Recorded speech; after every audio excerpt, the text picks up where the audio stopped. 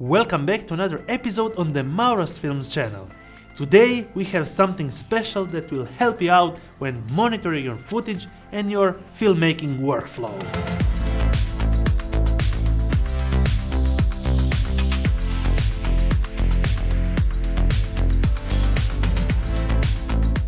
As you know, I'm making a lot of monitor reviews, from the 5 inch to 7 inch all the way up to 50 inch. And today we are actually reviewing not just a monitor, but a wireless image transmission system built inside the monitor.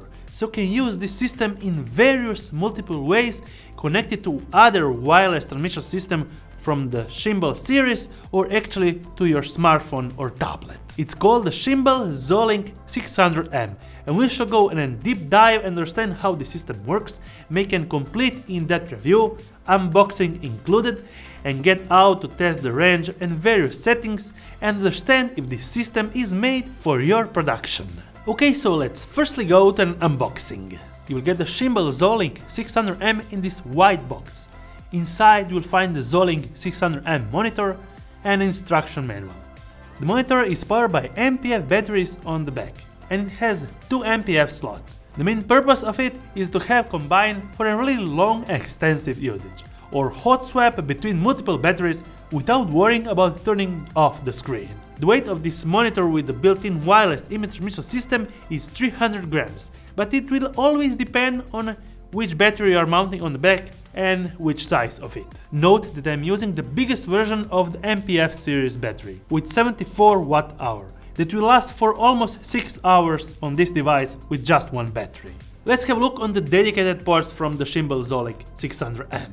On the left you have an HDMI in and HDMI out pass-through port, up to Full HD 60 frames per second. Headphone monitoring jack, DC in 7 to 17 volts. On the bottom part there is DC out power port, if you want to connect additional devices on it. In the middle there is the standard 1 quarter screw mount. On the left we can notice an USB-C connection that acts as debug upgrade port. And note that you can't power the monitor through the USB-C. It would have been amazing, but no you can't, it's just an upgrade debug port. You can power it through the battery or the DC in 7 to 17 volts. You will also find the SD card slot for loading your LUTs, actual test to actually mimic an teleprompter or internal recording mode that you will get more in the following minutes. On the top there are three customizable function buttons. There is also a slight clip where we can understand the built-in antenna for the wireless image transmission system. The screen is pretty bright with 1200 contrast to 1 ratio and 1000 nits of brightness. And you will get a really crisp 5.5 Full HD resolution up to 60 frames per second. Actually I got 3 Shimbol monitors for testing. One is on my Sony a7S III, giving the wireless feed to this monitor, and then this monitor is just looping out from the HDMI out port to this one. So you can use an extended wide range of combination when using these monitors. Before we get out, let's get to the specs and features that this screen offers. The menu system is pretty well designed and will get all the features clearly laid out. You will be able to select the input type and wireless connection, selecting from HDMI if you are using it as a transmitter, or wireless if you are using to get the signal from another Zolink device or monitor. Wireless code and password. The connection happens pretty fast. And let's just have a quick jump to the menu settings so you can understand where you can switch the wireless mode type under the system settings. Fast and easy. Transmitter or receiver. You will be also able to pick up to 12 channels. On the scopes menu system, you are able to put waveforms, RGB panels, histograms and vector scope visible, selecting the opacity of it. Marker ratio settings with color safe area, anamorphic modes and center marker. Focus settings with the color and sensitivity option. The sensitivity actually makes a great difference. Zoom in functions so you can pitch to zoom without any problems. In the exposure menu settings, you are able to add the zebra pattern with the percentage of it, false color and monochrome mode. Under the color settings menu, you will be able to load your favorite LUT, either selecting the ones that are pre-installed in the device, just like the standard S-Log, V-Log, C-Log or LED-Log, or load your own LUTs to the SD card. You will be able to change the gamma, turn on the HDR mode with PQ HLG modes, and select the Kelvin value for your monitor. There is also an amazing teleprompter menu system that you can actually use if you want to use this monitor as a teleprompter and actually act and play your text in the text format and you can actually read from the monitor and be more fluent in your recordings. The great feature is the built-in recording to the SD card and it will record the feed from HDMI cable or wireless transmission up to Full HD 60p and you actually make the trigger recording. So once you press the record button on your camera, it will also trigger the recording on the monitor screen and it will all be saved on the SD card. After it, you can also play all the clips straight on the monitor from the recordings on the SD card on the monitor. There is also the lock screen function. On the menu settings options, you will be able to change display brightness, contrast, saturation and sharpness with specific RGB adjustments. Under the settings menu system, you can choose normal, underscan, volume of the built-in speaker and backlight. DC out if you want to use the port for the DC power out option. There are three function buttons on the top that you can customize on your liking and choose what feature to be ready to use in seconds. In the system settings layout, you are able to choose the language, version information, software update, do a factory reset and choose the transmitter or receiver mode. Okay, so I have three of this system and I can confirm that two monitors can be configured as receivers, while one is configured as a transmitter. But if you do so, there will be a connection issue when one receiver always lags and disconnects. So in this time period, I would only recommend to use one additional monitor connected to the receiver but through the HDMI out port we can actually loop the signal and use bigger monitors on top of it. The stated latency is 0.08 seconds or 80 milliseconds.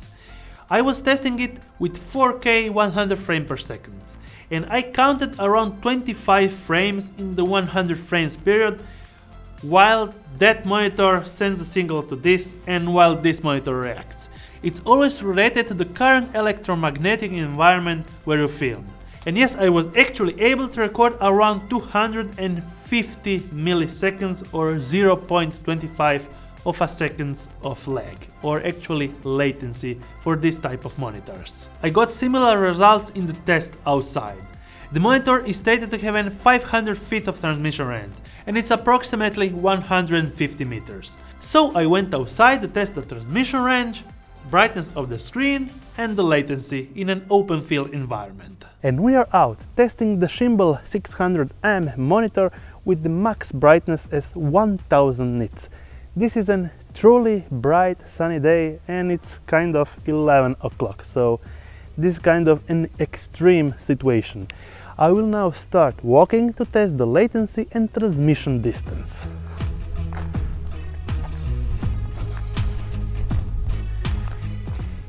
If we get some cutoff of the signal so we will understand if this is an actual good transmission system for a long distance up to 100 meters. In this not so much populated area but there are some big strong Wi-Fi signals around with some antennas because we have here a free Wi-Fi zone so it could interfere in the footage. Now I am at around the 100 meter mark and this is the actual footage and I will check later in the studio if we got some transmission delay or actual some transmission cutoff. And now I will be going straight back the church to understand the clear line of sight and the actual not so clear line of sight if we can get some signal or we are truly blind.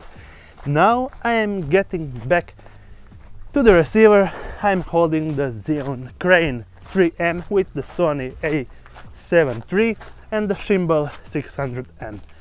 Now I'm turning back and this test will end and we'll be going back into the studio to understand more how the system works and to get some conclusions.